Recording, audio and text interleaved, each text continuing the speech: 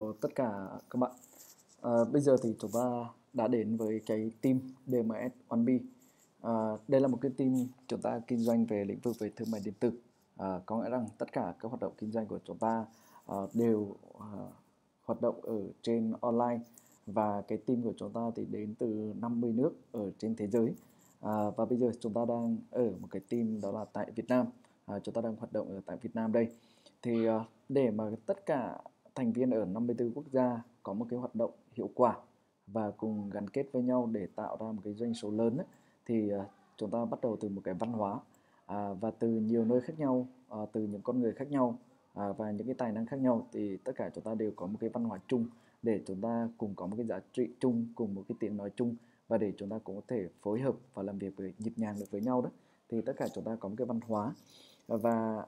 trước khi mà bạn để đến với tổ chức này thì bạn cần phải xem là bản thân à, mình có phù hợp với cái tổ chức này không? Thì nó phụ thuộc vào cái văn hóa. À, bởi vì à, nếu mà bạn cảm thấy rằng à, mình phù hợp với cái tổ chức này với văn hóa này thì bạn mới có thể làm việc được. Còn nếu như bạn không phù hợp với được những cái tiêu chí những cái à, à quy ước của trong team này à, thì nó lại không phù hợp. À, vấn đề ở đây của chúng ta là không phải giỏi hay không giỏi mà là quan trọng chúng ta có phù hợp hay không bởi vì khi mà chúng ta phù hợp đó thì lúc đó chúng ta mới có thể đi cùng nhau làm việc với cùng nhau và chúng ta cùng nhau phát triển được. Vậy thì ờ, cái đầu tiên để chúng ta xem là mình có phù hợp với không ấy thứ nhất đó là chúng ta có cùng chung một cái sứ mệnh hay không. À, thứ nhất đây là cái cái team DMS 1B này chúng ta sẽ cùng chung một cái thực hiện một cái sứ mệnh. Đó là chúng ta kiến tạo nên một cái đội ngũ làm vì những điều tốt đẹp. Có nghĩa là à, hiện nay như ở tại Việt Nam của chúng ta đó thì cái đội ngũ của chúng ta đang à, tập trung nhập khẩu những cái sản phẩm à, về chăm sóc sức khỏe và sắc đẹp. Và chúng ta chỉ lựa chọn những cái sản phẩm nào tốt nhất mang lại đến cho người tiêu dùng. Có nghĩa rằng là ở trên thế giới có rất nhiều cái sản phẩm và hiện nay ở Việt Nam chúng ta cũng có nhiều cái sản phẩm liên quan đến về sức khỏe sức khỏe và sắc đẹp. Nhưng à, đội ngũ chúng ta chỉ lựa chọn những sản phẩm nào tốt nhất à, cho đến cho người tiêu dùng và chỉ lựa chọn những cái sản phẩm mang đến cho người tiêu dùng tốt nhất và chúng ta sẽ dù cái sản phẩm đó có mang lại lợi nhuận nhiều nhưng không mang lại một cái giá trị cho người dùng không mang đến một cái kết quả tốt cho người tiêu dùng thì chúng ta sẽ không kinh doanh cái sản phẩm đó. À, dù có thể cái lãi của chúng ta nó ít hơn nhưng nếu mà mang đến một cái giá trị tốt cho khách hàng thì chúng ta sẽ luôn tập trung vào điều đó. Vậy thì cái sứ mệnh của chúng ta ở đây rất rõ ràng là chúng ta chỉ làm những điều mà tốt đẹp đến cho cuộc sống. Và cái thứ hai nữa là khi ở trong cái toàn đội của chúng ta đấy thì chúng ta sẽ cùng uh, nhau hỗ trợ và giúp nhau để chúng ta phát triển. Thì nó sẽ có những cái quy tắc chung thì chúng ta sẽ nói sau nhưng chúng ta cần phải hiểu rằng là chúng ta đang làm vì những điều tốt đẹp. Và cái gắn với cái việc mà hoạt động kinh doanh của chúng ta đó thì mỗi tháng chúng ta đều trích ra một cái phần trăm nguồn thu nhập của mình à, vào một cái quỹ đó là quỹ mổ tim trẻ em vùng Đông Nam Á đó là hàng năm như vậy chúng ta đều đóng góp. À, chúng ta có một cái quỹ một tim vào mỗi năm như vậy chúng ta sẽ có hai lần à, để đi đóng. Và bởi vì những cái hoạt động kinh doanh chúng ta tạo ra doanh thu thì chúng ta đều trích một cái phần à, phần trăm thu nhập của mình để đóng góp vào quỹ một tim có là đồng nghĩa với việc mà chúng ta kinh doanh chúng ta tạo thu nhập mang những sản phẩm tốt đến cho người tiêu dùng thì chúng ta cũng sẽ có những cái hoạt động à, mạng xã hội để cho cứu trợ những cái trẻ em mà bị bệnh tim bẩm à, bệnh tim bẩm sinh của vùng Đông Nam Á mà họ không có cơ hội để có thể mổ tim thì chúng ta có một cái nguồn quỹ đó để chúng ta đóng góp vào. À, nên là chúng ta thực hiện một cái sứ mệnh rất rõ ràng là đội ngũ làm vì những điều tốt đẹp. Có là những gì mang lại tốt đẹp cho cuộc sống thì chúng ta mới làm. Và à, bên cạnh cái sứ mệnh đó thì chúng ta cần phải thực hiện một mục tiêu. Ví dụ như tại Việt Nam của chúng ta năm vừa rồi ở tại Việt Nam đấy thì cái team của chúng ta năm 2000 à, tháng 6 năm 2016 đến tháng 6 năm 2017 chúng ta đặt mục tiêu 16 triệu đô thì chúng ta đã làm xong. Và bây giờ à, trong cái thời điểm sắp tới đây thì chúng ta cùng nhau à, thực hiện. Và đây là cái mục tiêu của vùng Đông Nam Á của chúng ta à, các thành viên của vùng Đông Nam Á. Và đặc biệt đây là cái mục tiêu của riêng Việt Nam của chúng ta không thôi là đến năm 2023 à, toàn đội ngũ chúng ta sẽ quyết tâm để đạt được cái mục tiêu đó là 1 tỷ đô vào năm 2023 vậy thì để đạt được chúng ta đạt được cái mục tiêu lớn như vậy thì à, chúng ta cần phải có những quy tắc để mà chúng ta phối hợp và chúng ta làm cùng chung với nhau và tất nhiên với mục tiêu 1 tỷ đô đến năm 2023 có nghĩa rằng là chúng ta có 5 năm để chúng ta thực hiện mục tiêu này. Vậy thì đây là một cái mục tiêu nó rất lớn và nó thách thức rất nhiều chúng ta nên chúng ta cần phải à, đồng sức đồng lòng và tập trung một cách cao độ thì chúng ta mới có thể đạt được mục tiêu này vậy thì đây là những cái quy tắc chung và để bạn cần phải xem là mình có phù hợp với cái quy tắc này hay không. Đầu tiên đối với cái tổ chức chúng ta luôn đặt cao nhất đó là cái sự kỷ luật. Có là sự kỷ luật đối với cái team của chúng ta đó là cái sức mạnh. À, và kỷ luật ở đây thì thứ nhất là chúng ta sẽ có à, thứ nhất đó là về đi làm là chúng ta cần phải đi trước giờ làm 15 phút để chúng ta chuẩn bị. Rồi về cái phòng ốc chúng ta vệ sinh một chút. Tất nhiên à, mỗi văn phòng chúng ta đều có người uh, lau công để mà dọn dẹp vệ sinh phòng rồi nhưng chúng ta cần đến trước 15 phút để chúng ta chuẩn bị mọi thứ để uh, đến cái giờ làm chúng ta làm việc một cách tốt nhất uh, cái thứ hai là chúng ta có cái KPI là cái cần mà chúng ta cần phải cập nhật vào buổi trưa và buổi chiều uh, trước 5 giờ chiều chúng ta cần phải cập nhật KPI chính xác là cái hiệu quả công việc để chúng ta có cái tin chúng ta có cái con số để chúng ta đo lường để chúng ta mỗi ngày biết được là cái công việc của chúng ta đang ở mức cái tiến độ nào chúng ta đang làm hiệu quả ra sao và kết quả đang như thế nào? Thì để toàn team chúng ta có thể đánh giá được chính xác là hiệu quả công việc như thế nào. Và đối với cái việc mà chúng ta đi làm chúng ta phải luôn đi sớm hơn. À, và đi sớm hơn ở đây cụ thể là 15 phút. À, và sau cái à, trễ giờ đó thì chúng ta luôn phải à, có đóng phạt. À, và mỗi lần mà chúng ta đi trễ như vậy dù bất kỳ một cái lý do gì thì chúng ta đều phải đóng phạt đó là 50.000 đồng. Đó là cái quy tắc chung. Và chúng ta cần phải rất kỷ luật với cái này. À, trong trường hợp mà một chúng ta có thể báo trước là đầu tuần. Ví dụ như trong tuần này chúng ta ngày nào à, có cái việc gì thì chúng ta có thể báo trước một tuần. Chứ còn không phải là đến sáng nay chúng ta mới báo thì không được. Mà chúng ta cần phải có sự sắp xếp lịch trước đó một tuần thì lúc đó chúng ta à, có thể là không phạt. Nhưng à, hôm nay ví dụ như sáng hôm nay chúng ta mới báo đó thì trường hợp đó chúng ta sẽ không được giải quyết. Mà chúng ta chỉ giải quyết được đó là báo vào đầu tuần. Bởi vì có nghĩa rằng là cái công việc đó chúng ta à, được sắp xếp trước rồi. Nhưng ví dụ như sáng hôm nay hay là tối hôm nay chúng ta mới báo cho ngày mai thì cái điều đó nó sẽ không được giải quyết và chắc chắn là chúng ta sẽ bị phạt à, và chúng ta rất kỷ luật với việc này để chúng ta phòng trừ cái việc mà chúng ta ngủ nướng rồi chúng ta dậy trễ rồi chúng ta biện minh cho lý do là chúng ta à, bị kẹt xe hay là bất kỳ một cái gì thì đối với trường hợp mà chúng ta đi trễ hay là chúng ta không cập nhật được KPI thì không chúng ta không báo trước một tuần thì chúng ta không có bất kỳ một lý do gì cả và khi chúng ta vi phạm như vậy thì chúng ta chỉ có một điều thôi đó là chúng ta vui lòng và đóng phạt à, và mỗi lần mà chúng ta đóng phạt như vậy thì chúng ta đều nói là à, tôi rất vui và hạnh phúc khi được đóng phạt. À, chứ chúng ta à, không giải thích không kêu ca không phản nàn và không ra điều kiện không có bất kỳ một cái lý do nào hết. À, và team của chúng ta đặt một cái sự kỷ luật đó là lên sức mạnh lên hàng đầu. À, và kỷ luật này nó còn thể hiện ở 10 điều mà chúng ta phải làm đây. Và trong 10 quy tắc này chúng ta đều phải thực hiện nó một cách nghiêm chỉnh. Và một trong 10 điều này mà chúng ta làm không đúng thì chúng ta đều có cái à, hình thức kỷ luật dành cho từng vị trí à, từng từng cho cái điều luật ở đây và tùy vào cái phòng ban và trong quá trình mà chúng ta làm thì chúng ta sẽ thống nhất về những cái quy tắc về những cái hình phạt hình phạt mà kỷ luật dành cho chúng ta nhưng đối với việc mà đi trễ và chúng ta không cập nhật KPI thì tất nhiên chúng ta sẽ có 50.000 cho mỗi lần mà chúng ta vi phạm như thế nhưng à, chúng ta sẽ có một cái mà để chúng ta gỡ lại những cái quy tắc phạt này đó đó là nếu chúng ta ngày hôm đó chúng ta vượt KPI 10% thì cái kỷ luật chúng ta sẽ được bỏ à, có nghĩa là cái à, kỷ luật là cái hình phạt đấy chúng ta sẽ không bị phải đóng phạt nữa có là nếu chúng ta hôm đó vượt KPI là 10% đi thì chúng ta sẽ không bị phạt 50.000 cho việc đi trễ chúng ta cũng không bị phạt 50.000 cho việc cập nhật KPI à, nhưng ngày mai à, thì nó, nó lại tiếp tục bắt đầu nên à, mỗi lần mà chúng ta vi phạm như vậy thì chúng ta có cơ hội được để chúng ta được gỡ phạt bằng cách đó chúng ta lập công thì chúng ta sẽ được chuộc tội ok à,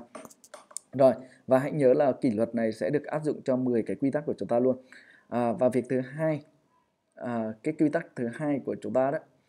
à, đó là bắt đầu bằng sự quan tâm và kết thúc bằng lòng biết ơn. À, có nghĩa là khi chúng ta đến với nhau chúng ta cần phải hiểu nhau chúng ta cần phải à, hiểu về mỗi người mỗi thành viên trong team. À, nên khi mà chúng ta đến với cái team này chúng ta sẽ cần phải sự quan tâm đến các thành viên quan tâm đến cái tổ chức à, những cái vấn đề chúng ta đang mắc phải và từ đó để chúng ta đưa ra những cái phương án những cái giải pháp để chúng ta giải quyết. Rồi chúng ta cũng cần phải hiểu về nhau hiểu về gia đình hiểu về cuộc sống của từng người. À, bởi vì một cái team mà chúng ta làm việc với nhau thì chúng ta chỉ có 6 người. Và khi mà chúng ta có thể làm việc được với nhau hay không làm việc được với nhau đó thì chúng ta cũng nên trân trọng và biết ơn à, những gì mà mọi người đã mang đến cho nhau. À, thì đây là một cái văn hóa và trong cái buổi mà chúng ta làm việc với nhau đầu tiên thì à, tôi sẽ nói rõ hơn về cái điều này bởi vì lúc đó chúng tôi cần phải à, giúp cho các bạn và để mà làm để thiền rõ về cái này thì chúng ta có ba buổi à, để training cho chúng ta về cái mục tiêu cái định hướng. Bởi vì chúng tôi rất cần biết được là cái mục tiêu của bạn cái định hướng của bạn trong tương lai. À, để mà từ đó chúng tôi có thể đưa ra những cái phương án những cái giải pháp để giúp bạn trong tương lai bạn có thể đạt được cái mục tiêu của mình đạt được cái giấc mơ của mình. À, có thể là bạn làm với chúng tôi được một năm hai năm ba năm có những bạn làm việc cả một đời à, cả cùng với chúng tôi đi đến cuối con đường. Nhưng mỗi người đều có một cái giấc mơ đều có một cái mục tiêu riêng. Nên chúng tôi thực sự rất mong muốn rằng là biết được là cái giấc mơ của bạn là gì mong muốn của bạn là gì. Để những ngày tháng khi mà bạn làm việc ở cái tổ chức này đó thì nó cũng là một phần để đóng góp giúp bạn sau này thực hiện được giấc mơ thực hiện cái mục tiêu của cuộc đời của mình. Và tất nhiên những ngày tháng mà bạn làm ở đây thì chúng tôi rất trân trọng về những cái điều đó. Và chúng tôi muốn biến những cái khoảnh khắc những cái thời gian mà chúng ta làm việc với nhau đó là những ngày mà thực sự ý nghĩa những ngày mà thực sự chúng ta mang lại tạo nên giá trị uh, trong cái cuộc đời của chúng ta. À, nên đó là quy tắc chung thứ hai đó là chúng ta sẽ bắt đầu bằng sự quan tâm. Nhưng kết thúc chúng ta sẽ luôn bắt đầu bằng cái sự biết ơn. Và quy tắc số 3 của chúng ta đó là chúng ta cần phải chịu trách nhiệm 100% về bản thân. Chúng ta không giải thích không chỉ trích không đổ lỗi không kêu ca không phản nàn và không ra điều kiện chỉ có giải pháp. Vậy thì trong trường hợp à, tôi lấy ví dụ như thế này.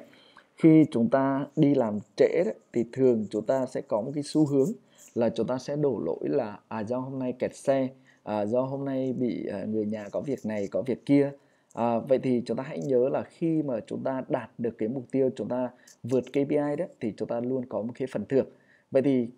khi mà chúng ta nhận được phần thưởng thì chúng ta cũng không bao giờ nói rằng là à, vì tôi thế này vì tôi thế kia mà tôi được thưởng chúng ta không hề có một cái lý do nào đúng các bạn mà chúng ta rất vui vẻ để chúng ta nhận thưởng đó vậy thì trong công việc chúng ta cũng thế khi mà chúng ta có thưởng thì tất nhiên chúng ta sẽ có phạt nên à, trong tất cả một cái việc à, ví dụ như việc mà chúng ta đi trễ chẳng hạn à, nếu như à, chúng ta biết là 8 giờ chúng ta bắt đầu làm việc thì nếu chúng ta đi lúc 6 giờ thì chắc chắn là nó sẽ không bao giờ kẹt xe nó cũng không bao giờ gặp với vấn đề này vấn đề kia à, ví dụ như chúng ta biết chiều hôm nay à, sáng hôm nay chúng ta có một buổi họp ở thành phố Hồ Chí Minh thì có phải chúng ta luôn bay từ bay từ ngoài nếu chúng ta đang ở Hà Nội thì chúng ta đã bay vào thành phố Hồ Chí Minh từ đêm qua rồi thậm chí cẩn thận hơn nữa chúng ta đã bay từ buổi chiều nên bất kỳ một việc gì xảy ra thì chúng ta luôn chịu trách nhiệm 100% về bản thân mình dù đó là bất kỳ một cái gì thì nguyên tắc chúng ta đó là không giải thích không chỉ trích không đổ lỗi không kêu ca không phàn nàn không ra điều kiện thì có nghĩa là khi chúng ta mắc lỗi là việc đầu tiên chúng ta phải chịu trách nhiệm về bản thân mình và chúng ta nhận lỗi về việc đó dù khách quan hay là chủ quan bởi vì khi mà chúng ta chịu trách nhiệm 100% về chính bản thân mình đó thì cái đầu tiên đó chúng ta sẽ đổ lỗi cho mình chúng ta sẽ thay đổi từ bản thân mình còn nếu mà chúng ta vẫn nói là do cái này do cái kia đó thì chúng ta sẽ không thay đổi được bản thân mình và chúng ta cũng không giải quyết được vấn đề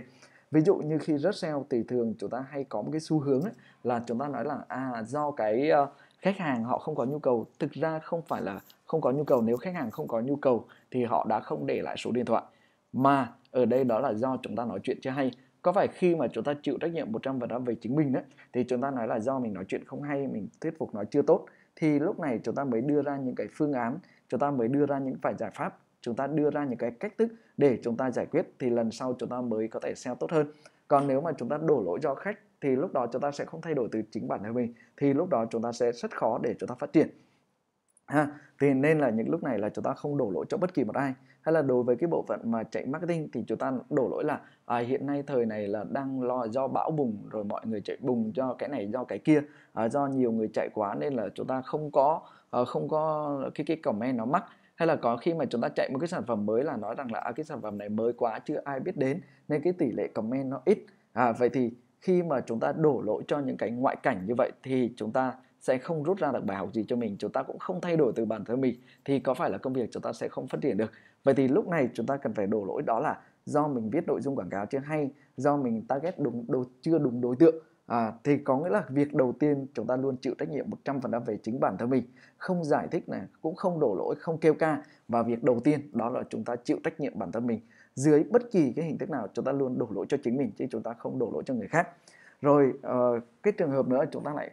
uh, khi mà chúng ta ở trong một điều kiện mà ví dụ như cái mạng internet mất thì việc thường chúng ta cũng hay kêu ca là ồ do mạng yếu quá. Vậy thì nếu mà chúng ta chịu trách nhiệm thì có phải tất nhiên là cái công việc đó là của công ty sẽ sửa nhưng nếu là một người biết chịu trách nhiệm 100% về chính bản thân mình đó, thì họ sẽ chủ động đi sửa cái cái cái wifi đó. Họ sẽ cùng đề xuất về công ty là cần phải thay mạng như thế này, thay mạng như thế kia. Thì có nghĩa là chúng ta sẽ luôn đưa ra giải pháp. Ha, thì lúc này chúng ta không có phàn nàn, chúng ta không ra điều kiện, mà chúng ta đưa ra những cái phương án giải quyết. Và đó là cái văn hóa của tổ chức của chúng ta. Nên nguyên tắc thứ ba của chúng ta đó, chúng ta phải chịu trách nhiệm 100% về bản thân mình, dù bất kỳ một lý do. Tôi nói đơn giản, ví dụ như thế này. Khi mà bồ chúng ta đá à, chia tay chúng ta chúng ta nói rằng là à, do con bồ mình nó đòi là cần phải có cái này cần phải có cái kia. Vậy thì nếu như bản thân chúng ta mỗi ngày chúng ta nỗ lực và chúng ta có nhiều tiền chúng ta à, dành tình cảm cho họ nhiều hơn thì có phải là chúng ta sẽ không bị vấn đề đó xảy ra còn nếu mà chúng ta đổ lỗi cho người ta đó, thì chúng ta sẽ không giải quyết được vấn đề gì cả. Nên cái nguyên tắc đầu tiên đó chúng ta phải chịu trách nhiệm 100% về bản thân mình. Chúng ta luôn chịu trách nhiệm về những gì mình làm những kết quả mang đến cho mình. Tất nhiên chúng ta luôn đổ lỗi do mình. À, ví dụ như có một ai chúng ta đi ra ngoài đường mà chúng ta bị một ai đó tát vào mặt mình cái mình nói ô tôi đâu có làm gì đâu tự nhiên nó tát mình. Ờ, và cái người kia nói nhìn mặt đáng ghét. Nó nói thì bạn nói rằng là tôi đâu làm gì đâu mà vì người ta thấy đáng ghét. Vậy thì tại sao người ta nhìn mặt mình đáng ghét? Nếu như bạn luôn khiêm tốn bạn luôn vui vẻ bạn luôn à, làm cho người ta cảm thấy thương mình thì có phải là nó nó nó sẽ không có bao giờ người ta làm cái điều đó? Vậy thì lúc này chúng ta không đổ lỗi cho người ta mà chúng ta đổ lỗi cho mình ví dụ như việc mà chúng ta đi xe ngoài đường bị một ai đó tông vào cái chúng ta nói rằng là ôi do người ta tông mình nhưng nếu lúc đó mà chúng ta cẩn thận hơn chúng ta chú ý kỹ hơn chúng ta thấy người ta vừa đấm ván là chúng ta né luôn thì có phải là chúng ta sẽ không có vấn đề đó xảy ra và việc đầu tiên kể trong trường hợp mà người ta đã tông vào rồi chúng ta nhảy xuống mà chúng ta đổ lỗi cho bên kia cái nói là tại sao bạn lại đâm tôi thì lúc đó có phải hai người sẽ cãi nhau nhưng nếu lúc đó chúng ta bình tĩnh chúng ta nói ôi xin lỗi bạn thì khi mà chúng ta xin lỗi người ta đấy thì người ta bên kia người ta cũng biết đó là do lỗi của người ta thì lúc đó bên đó người ta cũng có xu hướng người ta nhường nhịn người ta sẽ à, thoải mái hơn và lúc đó chúng ta ngồi lại chúng ta bình tĩnh và chúng ta đưa ra những cái giải pháp để chúng ta giải quyết vấn đề vậy thì cái nguyên tắc đó là để chúng ta hiểu rõ hơn đôi lúc chúng ta đổ lỗi mà chúng ta không hiểu được nên à, trong quá trình mà chúng ta vào làm việc thì chúng tôi sẽ làm rất rõ về việc để chúng ta hiểu rõ hơn về quy tắc đó là chúng ta chịu trách nhiệm 100% về bản thân và khi một tổ chức mà tất cả mọi người đều chịu trách nhiệm 100% về chính bản thân mình thì và chúng ta luôn gặp một vấn đề chúng ta luôn đưa ra những cái giải pháp chúng ta đưa ra những cái phương án để chúng ta giải quyết vấn đề thì cái tổ chức đó nó sẽ ngày càng phát triển. Ví dụ như khi chúng ta gặp một cái vấn đề à, trong các buổi họp là thường chúng ta nói là do người này do người kia thì chúng ta tuyệt đối không bao giờ được chỉ trích hay là nói về người này nói về người kia mà chúng ta luôn nói về bản thân mình mình đã ờ, mình làm như thế này là mới dẫn đến như thế này. Và giải pháp của tôi đó là gì? Nên trong các cuộc họp chúng ta luôn luôn tập trung vào giải pháp. Tập trung vào giải pháp chúng ta đưa ra vấn đề và chúng ta đưa ra những cái giải pháp. Tập trung vào đưa ra những cái phương án giải quyết ờ, giải pháp để giải quyết vấn đề. Chứ chúng ta không chỉ trích bất kỳ một ai. Và cái việc mà chỉ trích trong cái team của chúng ta là tuyệt đối không bao giờ được thực hiện. Mà chúng ta chỉ có đưa ra những cái giải pháp để chúng ta giải quyết vấn đề bởi vì chỉ có giải pháp mà nó mới giúp chúng ta giải quyết được vấn đề ha? Đó là cái về cái quy tắc số 3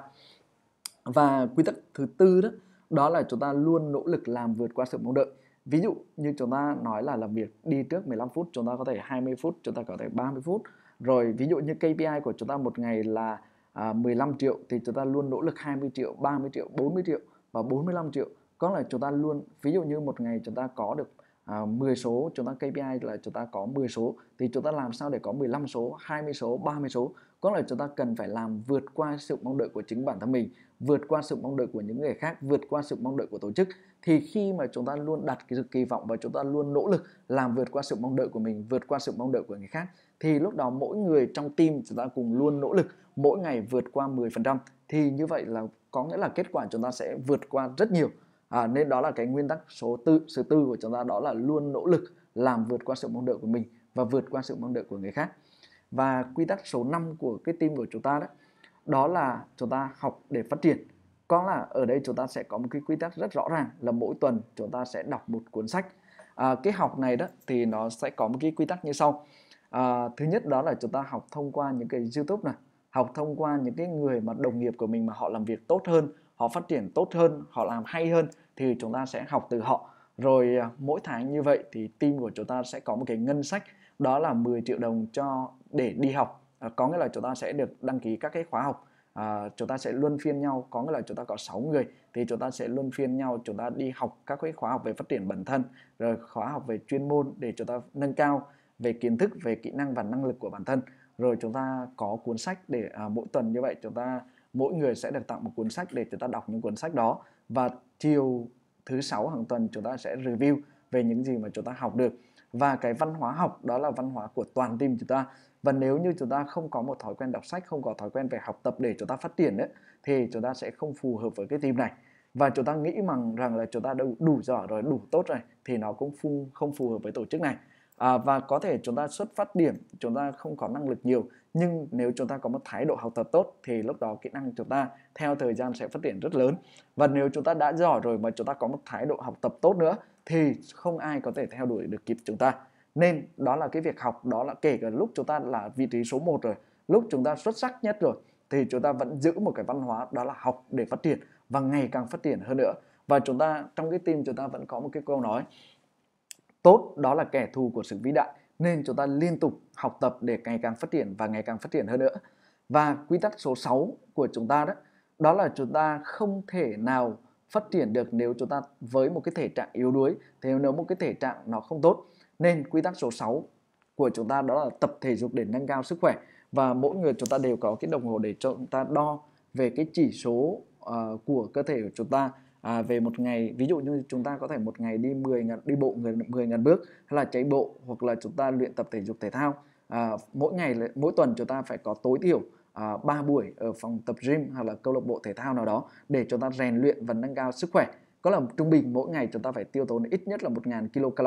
để mà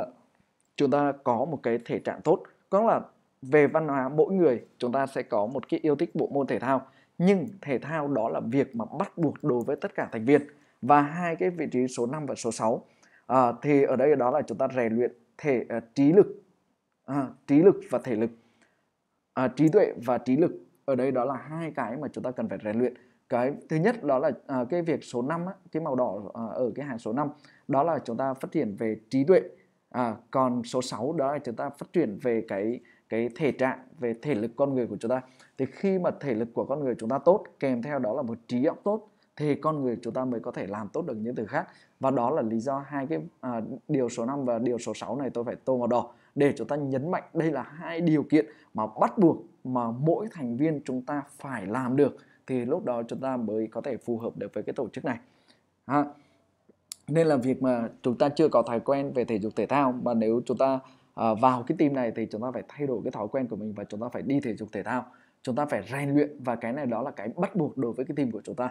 Ok bởi vì khi mà thể lực của chúng ta tốt kèm theo đó là kiến thức chúng ta phát triển nữa thì những mọi công việc chúng ta mới có thể hoàn thành được và cái cái con người bạn mới mới có một cái tư duy tích cực mới có cái suy nghĩ tích cực thì đời sống của bạn tốt cái suy nghĩ bạn tốt cái thể trạng bạn tốt thì lúc đó bạn mới có thể đóng góp được những cái tổ chức nó tốt được. Ok rồi và điều thứ bảy của chúng ta đó, đó là dũng cảm đối diện giải quyết vấn đề một cách rõ ràng và dứt điểm. Có nghĩa rằng là trong quá trình mà chúng ta làm việc với nhau tất nhiên sẽ có những cái vấn đề nó xảy ra có những mâu thuẫn nó sẽ xảy ra trong quá trình mà chúng ta làm việc với nhau. Thì tất cả chúng ta sẽ cùng phải đối dũng cảm đối diện giải quyết vấn đề. Và chúng ta sẽ không bao giờ nói về một người khác nếu như không có mặt người đó ở đây. Ví dụ như tôi muốn nói về anh Nguyễn Văn Dũng mà anh Nguyễn Văn Dũng không có mặt ở đây thì tôi sẽ không nói về người đó. Mà phải khi có người đó thì tôi mới nói chuyện. Và khi mà ta chúng ta gặp vấn đề anh Dũng với anh Dũng thì chúng ta không nói với một người nào đó mà chúng ta nên đến trực tiếp và gặp nói uh, với người đó để chúng ta trao đổi một cách thẳng thắn rõ ràng.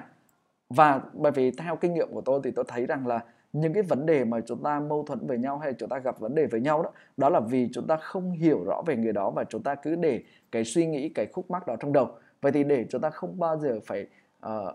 để những cái đó làm cái gạch nặng trong cái cuộc sống và trong cái suy nghĩ của chúng ta thì tốt nhất là chúng ta gặp người đó chúng ta nói chuyện và thường khi mà chúng ta nói chuyện thì chúng ta hiểu suy nghĩ của người đó hiểu vấn đề của người đó hiểu cái mong muốn của người đó thì thường chúng ta đều có một cái phương án à, để chúng ta giải quyết nên ở đây tôi mới tô đậm đó là cái dũng cảm đối diện và chúng ta cái này rất cần cái sự dũng cảm và vào trong cái tổ chức này thì chúng ta rèn luyện cái sự dũng cảm đó để chúng ta đối diện để chúng ta giải quyết vấn đề một cách rõ ràng và dứt điểm và dù chúng ta có quy tắc nhưng chúng ta sẽ vì tổ chức của chúng ta đó là những con người và chúng ta làm việc con người với nhau thì chúng ta nên dùng tình tình người để chúng ta nói chuyện với nhau sau đó không được nữa thì chúng ta mới dùng đến luật ha cái luật là để giúp chúng ta rõ ràng thôi còn à, tất cả một cái chúng ta có thể mọi vấn đề chúng ta đều có thể thương lượng trao đổi với nhau trước à, và chúng ta nên dùng tình cảm à, để nói chuyện với nhau trước khi mà chúng ta dùng luật để chúng ta nói chuyện ha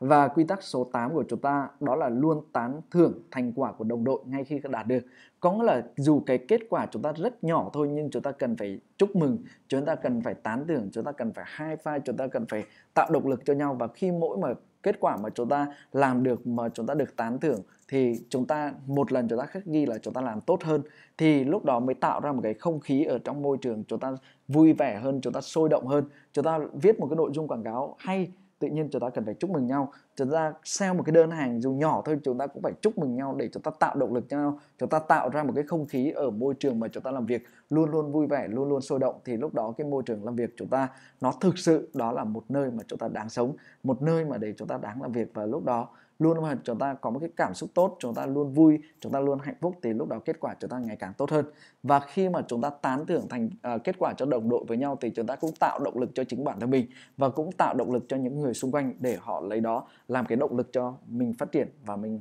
uh, nỗ lực để làm tốt hơn. Và cái quy tắc số 9 đó là luôn đặt lợi ích mục tiêu tập thể trước lợi ích và mục tiêu cá nhân. Có nghĩa rằng khi mà chúng ta nó giống như thế này khi mà chúng ta đi lễ chùa mà chúng ta xin cho bản thân mình như thế đó thì tự nhiên là nó không hay lắm nhưng nếu mà chúng ta xin cho cả gia đình xin cho những người xung quanh đấy thì có phải xin cả gia đình đó, thì có phải là chúng ta đang xin luôn cho cả bản thân mình không vậy thì khi chúng ta luôn đặt mục tiêu của tổ chức tổ chức mà tốt thì lúc đó mục tiêu của chúng ta nó cái cái vấn đề của cá nhân của chúng ta cũng giải quyết được tốt à, khi tổ chức của chúng ta đi lên thì lúc đó cá nhân chúng ta sẽ đi lên khi mộ khi những người xung quanh chúng ta tốt thì có phải là nó sẽ tạo động lực và giúp chúng ta phát triển tốt hơn nên à, đó là vì chúng ta đến đây chúng ta luôn là làm à, chúng ta ở đây đó là một cái tổ chức đó là một cả một cái team. Nên chúng ta sẽ luôn đặt cái mục tiêu của team mục tiêu của một cái tổ chức lên trên cái mục tiêu của cá nhân. Và có những cái uh, mà chúng ta thấy rằng là cái cái này cần phải làm vì tổ chức trước thì chúng ta sẽ hy sinh những cái mục tiêu những cái lợi ích cá nhân để mà chúng ta đặt à, để làm cho cái tổ chức. Bởi vì ở đây đó là chúng ta có cả làm với một cái team cả một cái tổ chức và khi mà mục tiêu của team đã được giải quyết thì cả toàn team mà quay lại hỗ trợ để giúp bạn đạt được mục tiêu thì tốc độ nó sẽ nhanh hơn. Nên chúng ta sẽ vì người đó là cách vì mình tốt nhất. Chúng ta vì tổ chức thì tổ chức sẽ quay lại vì chúng ta thì lúc đó chúng ta sẽ phát triển rất tốt. Ha nên là tất cả mọi thứ chúng ta sẽ luôn đặt à, cái mục tiêu đặt cái lợi ích của tập thể trước khi mà lợi ích và mục tiêu của cá nhân của chúng ta. Và quy tắc số 10 đó của team chúng ta đó là chúng ta sử dụng những cái ngôn từ tích cực và ở trong tim chúng ta sẽ chê ít khen nhiều thậm chí là chúng ta tuyệt đối về việc mà chúng ta chê và chúng ta tập trung vào việc mà chúng ta khen ngợi. Bởi vì khi mà chúng ta khen ngợi chúng ta sẽ nhìn thấy những điểm tốt của chúng ta. Và tất nhiên con mỗi con người chúng ta đều có điểm xấu và điểm điểm điểm uh, tốt nhưng nếu mà chúng ta tập trung vào điểm xấu đấy thì tự nhiên chúng ta đã tiệt tiêu cái năng lượng của chúng ta chúng ta làm giảm đi cái động lực của chúng ta. Thay vì như thế chúng ta hãy tập trung vào những cái gì mà tích cực nhất những cái gì mà làm cho chúng ta có cảm hứng làm gì chúng ta có động lực thì chúng ta nên tập trung vào khen nhiều hơn tập trung khen ngợi nhiều hơn. À, dù mọi người có nhiều người nói rằng là ồ cái này có vẻ hơi uh, không có thật nhưng khi mà chúng ta tập trung khen nhiều thì có phải là chúng ta có cảm hứng hơn chúng ta cảm thấy thích thú hơn từ đó chúng ta có động lực để chúng ta hoàn thiện và khi mà chúng ta khen được khen nhiều như vậy tự chúng ta luôn tự ý thức được rằng là mình vẫn có một điểm nào đó nó cần phải phát huy nữa thì thay vì như thế thay vì chê thì chúng ta tập trung khen nhiều hơn để chúng ta có động lực chúng ta có nội lực và chúng ta càng phát triển bản thân mình nhiều hơn nữa và chúng ta sẽ luôn sử dụng cái ngôn từ tích cực thì trong cái khi mà chúng ta làm việc với nhau đó thì chúng ta có một cái bản đó là bản về ngôn từ à, và những cái ngôn từ nào trong cái team của chúng ta được làm được nói và những ngôn từ nào chúng ta không được nói. Ví dụ như khi mà chúng ta đến uh, công ty mà ngày hôm đó chúng ta có uh, một việc uh, buồn ở nhà chẳng hạn thì hoặc là một cái cái gì đó trong cuộc sống đó thì chúng ta không được nói từ ờ hôm nay tôi buồn quá. Thì như vậy chúng ta sẽ không nói mà chúng ta sẽ đổi cái ngôn từ đó thành cái ngôn là à, hôm nay tôi cần thêm niềm vui có nghĩa là chúng ta cũng thể hiện cái điều buồn đó, nhưng chúng ta không nói là tôi buồn quá, mà tôi nói là tôi hôm nay tôi cần thêm niềm vui. Thì tất cả những thành viên biết rằng là bạn đang có một cái nỗi buồn và bạn đang cần thêm niềm vui, thì lúc này mọi người sẽ tìm cái niềm vui để đưa đến cho bạn. Nhưng nếu mà bạn nói là hôm nay tôi buồn quá thế là bạn của mình đến hỏi là ông anh có buồn chuyện gì thế? Và chúng ta kể với nhau về chuyện buồn đó, tự nhiên cả cái tim chúng ta thành buồn luôn. Đúng không? Nhưng nếu mà bạn nói rằng là oh, hôm nay tôi cần thêm niềm vui. Có là mọi người biết là bạn đang buồn thì mọi người sẽ đến cùng ờ, với bạn để đưa ra những cái phương án để giúp cho bạn vui hơn giúp cho bạn thoải mái hơn đúng không? Thì lúc đó chúng ta sẽ hướng đến cái điều nó tích cực hướng đến cái giải pháp nó tốt hơn. Rồi à, ví dụ như thay vì chúng ta nói à, công việc nhiều chẳng hạn thì có nhiều người nói là ô công việc nhiều quá căng thẳng quá. Thì thay vì như vậy chúng ta nói rằng là à đây là thách thức mà tôi cần phải vượt qua. Đây là cái thách thức mà tôi cần phải chiến thắng đúng không thì tự nhiên khi mà chúng ta nói đây là một cái thách thức chúng ta cần vượt qua thì chúng ta nghĩ ra nhiều cái chúng ta có cảm hứng hơn chúng ta có động lực hơn và chúng ta có nhiều phương án để chúng ta giải quyết hơn rồi uh, ví dụ như chúng ta bị bồ đá chẳng hạn đúng không thì chúng ta nói ô trời ơi tại sao tôi đau khổ như thế này tại sao bồ tôi lại chia tay thôi thì khi việc mà than vãn kêu ca phản nàn đó nó không giải quyết được gì hết thì chúng ta chuyển sang ngôn từ là à hôm nay tôi có cơ hội để có một cô bé khác ngon hơn đẹp hơn xinh hơn thế vậy khi mà chúng ta nghĩ như vậy và chúng ta chuyển sang ngôn từ như vậy thì tự nhiên chúng ta sẽ có động lực và chúng ta nhìn thấy à, có một cái cơ hội để khác nó tốt hơn để có một cô khác ngon hơn đúng không? Thì tự nhiên là chúng ta thấy kết quả nó nhiều hơn. Vậy thì chúng ta sẽ tập trung vào sử dụng cái ngôn từ mà tích cực. Ví dụ như khi mà chúng ta à, rớt sale thì chúng ta nói ô oh, sale rớt rồi khách hàng có nhu cầu. Thì thay vì như vậy chúng ta dùng ngôn từ là làm cách nào để thuyết phục được khách hàng này nhỉ? À, đó là chúng ta đưa ra một cái ngôn từ nó tích cực hơn à, thì chúng ta sẽ cùng thống nhất với nhau những ngôn từ nào chúng ta dùng và những ngôn từ nào chúng ta không dùng. Đấy ví dụ như hôm nay mà mình đến mà mình uể oải quá thì chúng ta nói hôm nay đuối quá mệt quá thì tự nhiên là làm cho cái trùng cái không khí xuống. Thì lúc đó chúng ta sẽ nói là à, hôm nay tôi cần thêm năng lượng. Thì mọi người sẽ biết làm sao để cho bạn vui hơn bạn có năng lượng hơn bạn có hoạt bát hơn. Đúng không rồi à, ví dụ như bạn gặp một cái à, ví dụ như bạn một cái cái uh, ai đó nói làm cho bạn bị căng thẳng bạn nói ôi bị stress quá bực mình quá. Thì tự nhiên làm cho cho cho cái cảm xúc của bạn cũng đi xuống đi và những cái người xung quanh họ cũng cảm thấy căng thẳng hơn. À, thì lúc này uh, bạn mới nói rằng là làm gì để cho cuộc đời nó vui đây? À, đúng không? Ví dụ như chúng ta dùng cái ngôn từ như thế hay là ví dụ như khi mà bạn căng thẳng đấy là ấy là làm sao để làm sao để mình có cái tâm trí bình an đây? Làm sao để cái cuộc sống nó vui vẻ đây? Có là chúng ta chuyển sang một cái ngôn từ tích cực thì toàn team chúng ta trong buổi gặp gỡ với nhau thì chúng ta sẽ có những cái ngôn từ mà để chúng ta chuyển đổi để chúng ta có một cái cuộc sống vui hơn tích cực hơn thoải mái hơn à, và ví dụ như một cái từ mà chúng ta cũng không dừng đó là từ cố gắng mà chúng ta luôn đó là quyết tâm phải làm được thì lúc đó chúng ta mới có thể làm được đúng không thì ở đây đó là quy tắc số 10 chúng ta là sử dụng những ngôn từ tích cực và chúng ta chê ít khen nhiều và đây là 10 cái quy tắc chung à, có thể trước trước khi mà đến với à, team của chúng ta à, bạn chưa đạt được cái 10 tiêu chí này. Nhưng nếu bạn mới đến với cái tổ chức này thì bạn phải cần phải xác định rằng là mình sẵn sàng thay đổi bản thân mình để phù hợp với 10 quy tắc này. Và bạn muốn sống trong môi trường có những cái quy tắc chung như thế này thì bạn hãy đến với tổ chức này. Còn nếu bạn thấy rằng là 10 quy tắc này nó quá khó với mình, nó không thể mình không phù hợp được thì chúng ta không đến đến. Còn nếu chúng ta đến với tổ chức này thì chúng ta cần phải xác định rằng là chúng ta cần phải tuân thủ đủ 10 cái quy tắc này và chúng ta muốn sống trong môi trường có những cái quy tắc chung này thì chúng ta hãy đến với cái team này. Ok, rồi. À, và nếu chúng ta đã quyết định đến thì chúng ta hãy để lại tên và số điện thoại và hãy inbox và liên hệ với cái người mà gửi video clip này dành cho các bạn. Rồi, xin cảm ơn tất cả bạn. Tôi tên đầy đủ là Lê Chí Linh. Xin chào và hẹn gặp lại các bạn vào một ngày gần nhất. Ok.